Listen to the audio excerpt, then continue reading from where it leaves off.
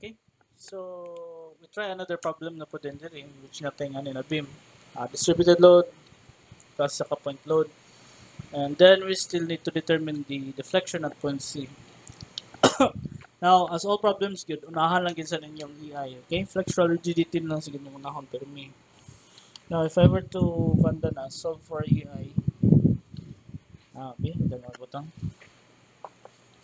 EI would just be equal to sa 200 times 10 to the power of sa 6 that is in kilonewtons uh, over m squared multiplied by 800 times 10 to the power of 6 divided by 1000 to the fourth m to the power of 4 ba?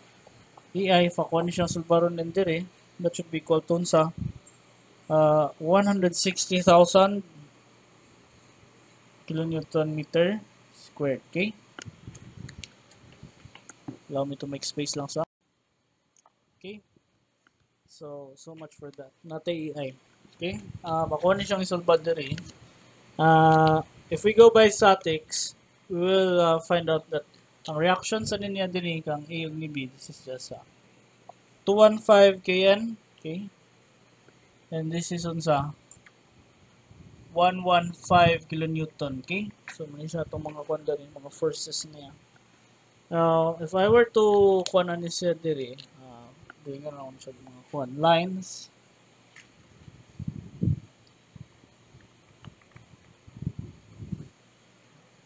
mag-cut ko diri. I would like to um, cut here. So mag-cut ko diri, I will have the internal forces na nasa iya then at that point. Uh, we'll have unsa kani siya diri 60 kilonewtons, okay? And this is unsa our M and V. But I have to know siya diri this is X, okay? V is going up ang our moment dayon diri kay pana siya. This is real so big M, okay? Hmm. Now, sa nga na case din diri, mag-cut na sa good diri dapit sa my hair and then hindi siya pagputol na sad. This time, na na-involve na sa line diri. Uh, this is 60 kilonewtons. Our reaction is uh, ma-involve na sa diri. This is pila. 215 kilonewtons. Okay. And nadayintay distributed in a load din diri. This pana na. This is um 30 kilonewton per meter ang ano yung dagan. Um, our x dayon diri is equal to sa this is our x. And this is unsa 3 and 3 meters na siya. So, I could just say na lang din dili, this is unsa x minus 3. Okay? Um, ako sa ibot kan din yung m and alin siya yung v na sa diri para for good measure. Now, in that case dayon, um, siya na distances diri, this is uh, 0 to 3. Okay? Ang condition siya din eh, um, 3 to, sama na siya, 12. Okay? So, 12 na sa na siya. Hmm, sakto yun, 3 to 12. Segment 0 to 3, 3 to 12. Now, 0 to 3, uh, kung moment ani sa yan expression, that would just be equal to sa uh, 60 times x. Okay? 60 times x. Any note ano sa kwan EI ba? Dili man siya involved sa EI kayo kay parehas man consistent naman EI niya so EI still EI. Okay? Now, kani din sa kadua na po dayon diri 3 to 12 that is unsa m is equal to medyo siya involved diri gamay we have 60 times x yapon but natay kaning ko nasad kini kani okay So, would like to add 3. Uh, 30 times, kani siya. 30 times uh, x minus 3 times the moment arm niya which is the center ni siya which is x minus 3 over 2. Na siya. Ah, times x minus 3 over 2 na plus na ah, napadili siya kon ni ah 215 opposite man siya ning duha ka book yung rotation pa naman so negative. Minus um, 215 multiplied by a moment arm niya which is equal to x uh, minus 3 so this is x minus 3 so if I were to simplify that I will have ano 60x plus um, 15 x minus 3 squared minus ano sa? 215 x minus 3 okay? Um, so we have something like this is mo. EI for this uh, constant to siya still the same.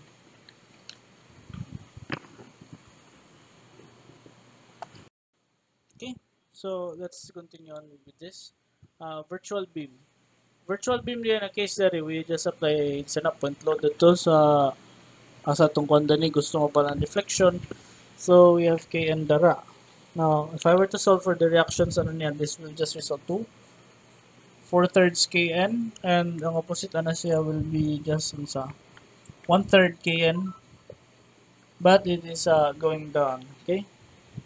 So singa na case diri na nako nang free body diagram daan diri. We have m na kana na free body diagram sa diri uh, either case uh, this is unsa 4 over 4 over 2 km Hmm? okay. So if I were to solve for the moment ani saya diri um moment small okay? Small m ni sa niya tong gamiton na notations okay? Then ko change. Small m small m. Hmm. Thus, we're dealing with vertical, uh, virtual na kwan na expression. So, m is equal to sa x. Okay? Our m din eh, um, kung na lahi na sa dyan na m ba? Uh, m times x, uh, 1 times x equals x. Ba? Plus, na pag siyang 4 over 3 din eh, which is, saka siya, uh, minus din siya di 4 over 3, x times moment arm, x minus 3.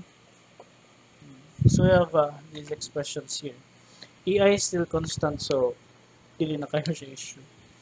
Ba? Hmm? Okay, so now we go to the integral na is kini. Ba? Um, for the first integral, we are dealing with 0 to 3. We just have sa 0 to 3. Yan sa na siya. Um, big M is equal to 60x. Small m is x. Divided by yun sa EI times dx. Okay? We had the second integral na dayon diri that involves 3 to 12, ba? 3 to 12. Our m is equal to sa big M 60x um, plus 15 x minus 3 squared minus um, 215 x minus 3 hmm. Times um, Canadian siya din is si x minus um, 3 m is equal to x.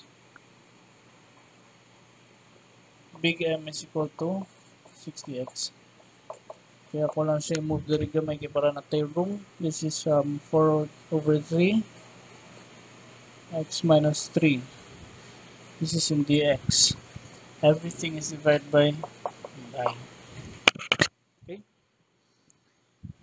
so in this case diri this will result dun sa uh, 540 and this is will uh, this will result dun sa sa negative 1113.75 in which case ako siya add together. I will just have sa negative 573.75 over EI okay? In which our EI is equal to sa 160,000 kilonewton m squared kilonewton m cube times 1,000 na po na ako sa diri I will have millimeters. Okay? m squared uh, times millimeters. So I will just have unsa 3.5859 millimeters okay this is uh, negative man siya. That means our assumption is wrong. And ang atuang quandary is actually going up. Okay? Pasaka ang atuang quandary deflection.